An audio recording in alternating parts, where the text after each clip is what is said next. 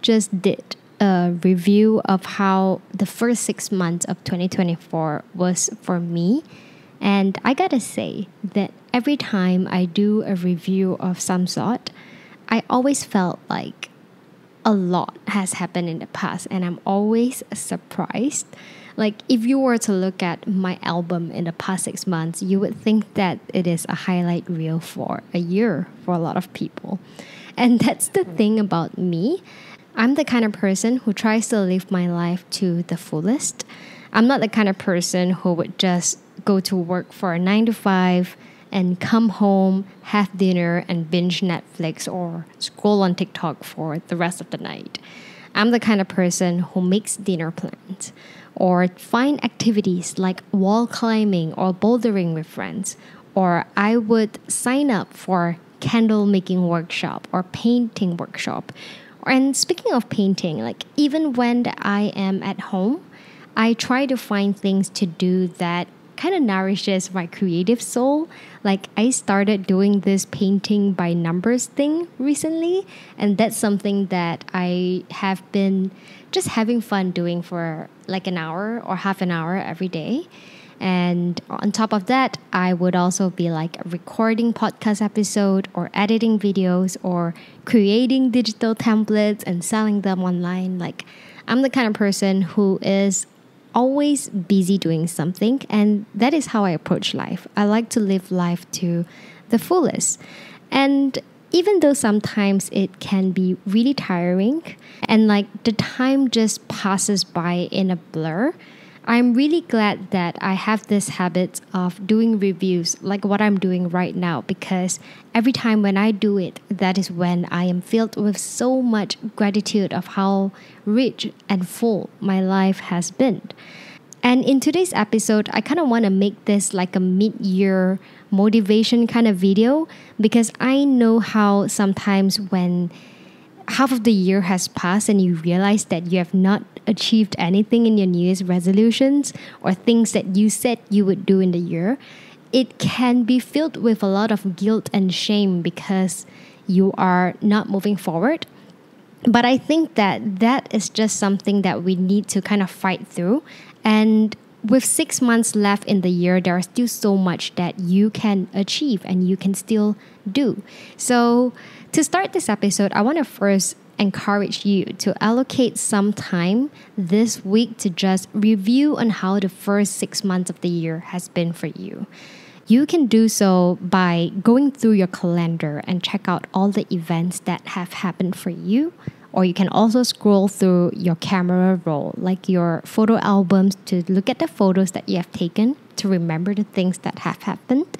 Or if you are someone like me, where you actually do a weekly reflection, it is also a great time for you to open up all those previous entries and kind of read through your mood and your thoughts in the past six months. So that's what I've done in the past week and actually listed all of the items down that happened, and it really made me feel so reach doing that.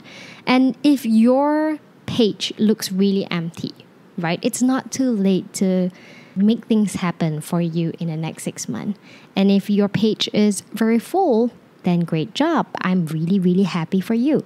And I would actually quite like to hear how was the first six months for you. So if you are listening on Spotify, I'm going to put up a poll that asks you how was the first half of 2024 for you.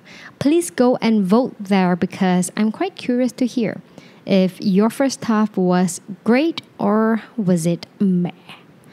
Okay, coming into what I wanted to share.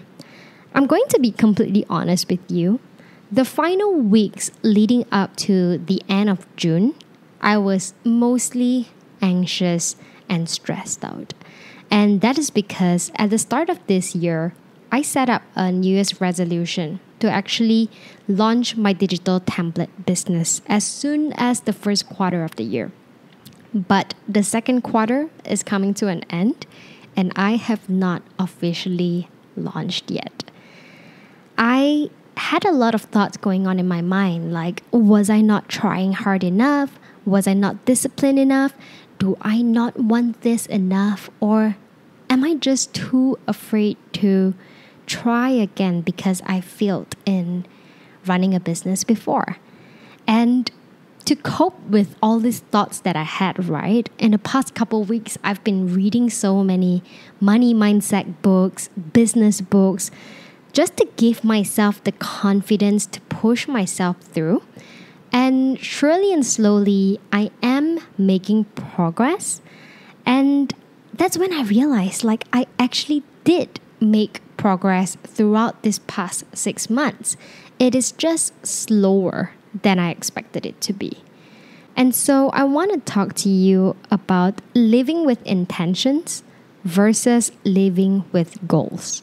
So I was looking back at the very inspired and hopeful entries that I had at the start of the year when I was writing down my New Year's resolution.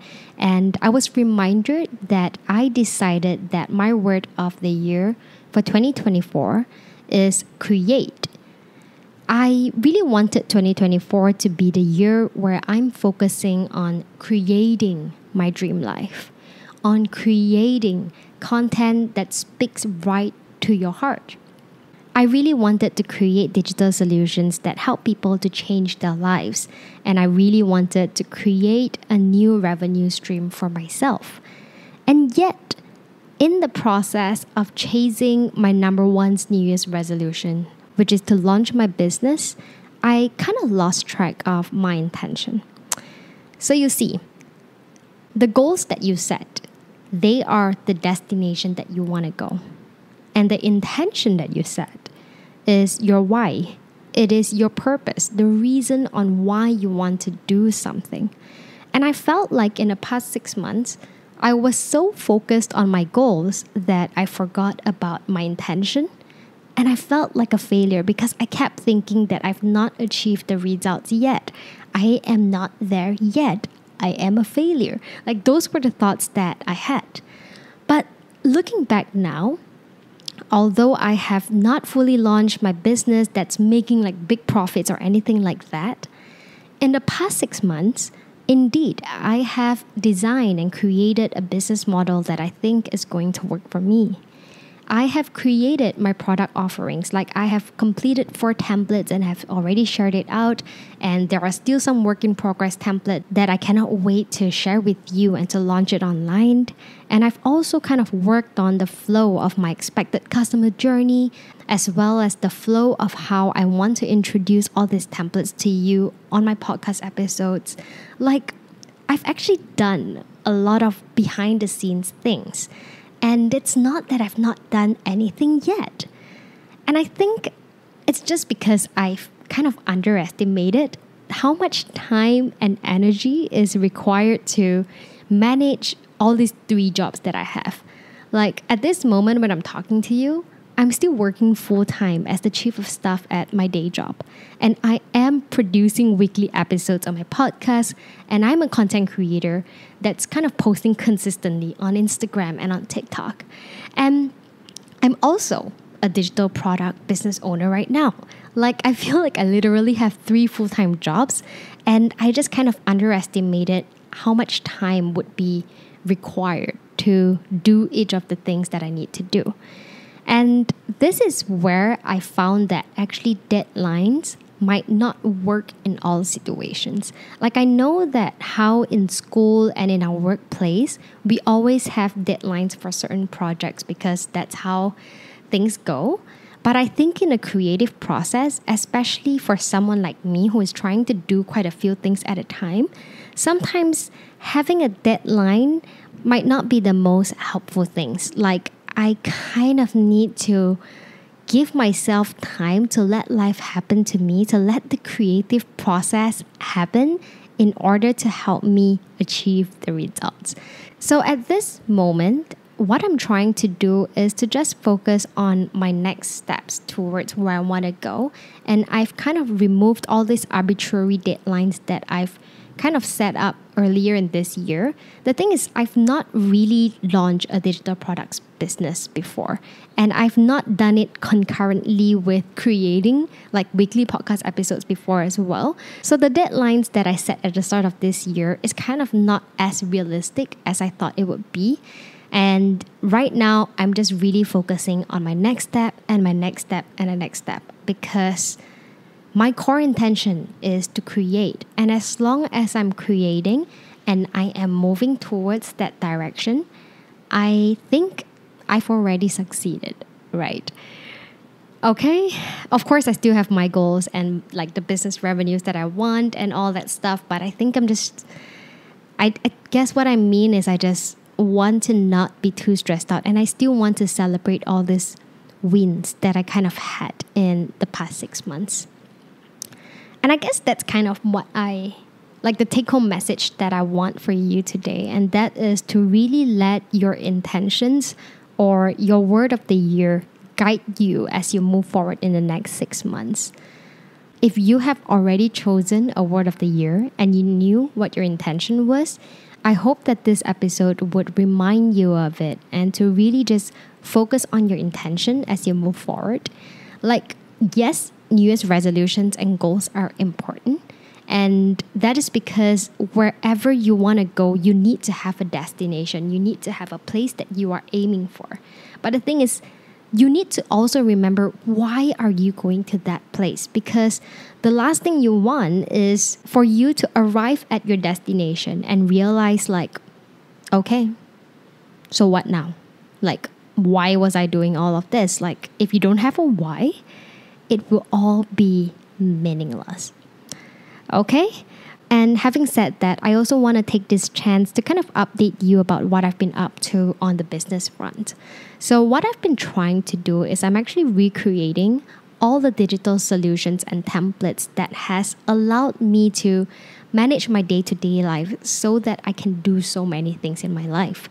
Like I said earlier, I still have a full-time job. I am a content creator and a podcaster and I am launching a business online. And it is a lot but I'm able to kind of manage it. And I want to share these templates with you because it has helped me so much.